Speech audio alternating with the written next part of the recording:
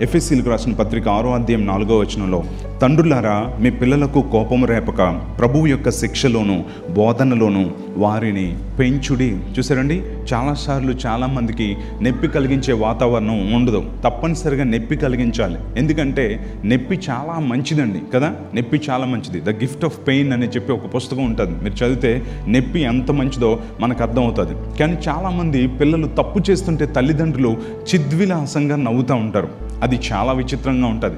కొన్ని ఇండ్లకు నేను వెళ్తున్నప్పుడు చూస్తూ ఉండేవాడిని. సోఫాలో కూర్చున్నాను నాకు పాయాసం ఏదో ఇచ్చారు. అది తాగితే వెనకతల వెనకతల కిటికీ ఉంటే అక్కడ ఎక్కిపోయాడు వాళ్ళ అబ్బాయి. ఒకడు ఎక్కి వాడు ఏంటంటే నా మీద నుండి జంప్ చేస్తాడట ముందున. జంప్ చేస్తే ఎలా ఉంటుందో ఒకసారి ఆలోచించండి. ఈ పాయాసం తాగలేక ఆయాసం పైన ఉంచి వాడెక్కడ గెంతేస్తాడు అని చెప్పి భయం ఇలా పట్టుకొని ఇలా ఉంటే డాడీ చూడు ఇప్పుడు పాస్ట్ అంకుల్ మీద నుంచి ఎలా గెంతానంటే ఏ తప్పురా హే" అని అన్నాడు. ఎలా ఉంటుందో ఒకసారి ఆలోచించండి. కదండి ఎలా ఉంటుందో ఒకసారి ఆలోచించండి. అంటాడు యా డామ్ అని గెంతాడు. ఏ మెడల మీద పడిపోతాడో మెడలు ఇరిగిపోతాయేమో అని చెప్పి మనకి భయం అది తాగలేక తినలేక వాడు గెంతుతూ ఉంటే వాళ్ళ మమ్మీ డాడీ చిద్విలాసంగా ఏ అంటూ ఉంటే ఎలా ఉంటుంది? నాకైతే ఒక్కసారి మా ఇంటికి పంపించండి ప్లీజ్. శుభ్రగా తోమేసి తెల్లగా పంపించేస్తాను అని చెప్పి అనిపించింది కదా? అప్పుడప్పుడు తోమేయాలి తెల్లగా వచ్చేస్తారు. సో తోమకపోతే కష్టం అనమాట సో అందుకనే పొరపాటు చేసేటప్పుడు కూడా తప్పకుండా నొప్పి కలిగించాలి. చాలామంది వాడు హట్ అవుతాడండి అని అంటారు. హట్ గిట్ట అలాంటివి ఏం లేవు. తప్పనిసరిగా నొప్పి కలిగించాలి. అదోనియా గురించి ఏమనుందో చూడండి. మొదటి రాజుల గ్రంథం మొదటి అధ్యాయం ఐదు ఆరు వచనాలు. First Kings chapter one verses five and six Haggith కుమారుడైన అదోనియా గర్వించిన వాడై నేనే రాజు నగుదునని అనుకొని రథములను గుర్రప్రవతులను తనకు ముందుగా పరిగెత్తుటకు యాభై మంది మనుషులను ఏర్పరచుకొనెను. తర్వాత అతని తండ్రి నీవు ఎలాగూ ఎలా చేయుచున్నావు అనే అతని చేత ఎప్పుడును విచారించి అతనికి నొప్పి కలుగజేయలేదు. ఏంట్రా నువ్వు చేస్తున్న పని? అని చెప్పి ఎప్పుడు నొప్పి కలిగించలేదంట.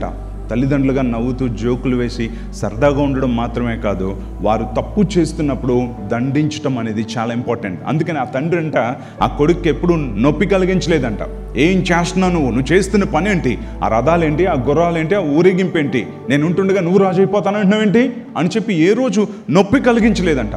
అదే చివరికి భక్తునికి తలనొప్పి కింద తయారైంది. సో అందుకోసమనే నొప్పి అనేది చాలా మంచిది. మీకు తెలుసా? నొప్పి అనేది ఎంత మంచిదో మీకు తెలుసా అండి? నొప్పి చాలా మంది నొప్పిని బట్టే మనకు సమస్య వచ్చిందని తెలిసింది. తలనొప్పి వస్తేనే కదా ఎందుకు వస్తుంది అని మనం అనుకుంటాం. తలనొప్పి రాకుండా ఉంటే ఎలా ఉంటుంది? ఒకసారి ఆలోచించండి. నొప్పి అనేది ఏంటంటే మనల్ని కంట్రోల్ చేస్తుంది.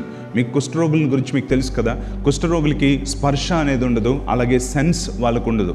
వాళ్ళు ఏం చేస్తారంటే ఒక రోజున ఒక ఆయన ఎర్రగా కాలిపోయిన బొగ్గు చేతితో పట్టుకొని వెళ్ళిపోతా ఉన్నాడు. కారణం ఏంటంటే నొప్పి లేదు అందుకని బొగ్గు తీసుకొని వెళ్ళిపోతున్నాడు. అక్కడ మాంసం ఉడికిపోతున్న ఆ వ్యక్తికి తెలియట్లేదు.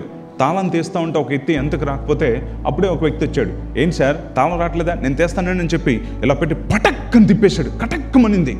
ఏమైంది అని అంటే అతని చేతి నుంచి రక్తం కారుతుంది అది అతను చూసుకోలేదు నడుచుకుంటూ వెళ్ళిపోతున్నాడు. కారణం ఏంటంటే తాళం ఇలా తిప్పినప్పుడు వేలు పటక్కుమని విరిగిపోయి కట్ అయిపోయింది. అయినా సరే కుష్ఠరోగి గనక నొప్పి స్పర్శ లేక నడుచుకుంటూ మామూలుగా వెళ్ళిపోతున్నాడు. అదే మనం తాళం తిప్పేటప్పుడు ఏం చేస్తాం? ఇలా అని అవ్వట్లేదని చెప్పి ఒక దగ్గర ఆగుతాం మనం.